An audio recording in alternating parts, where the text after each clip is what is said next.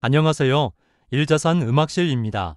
나훈아 노래 강촌의 살고 싶네를 러로폰으로 연주해 드릴게요.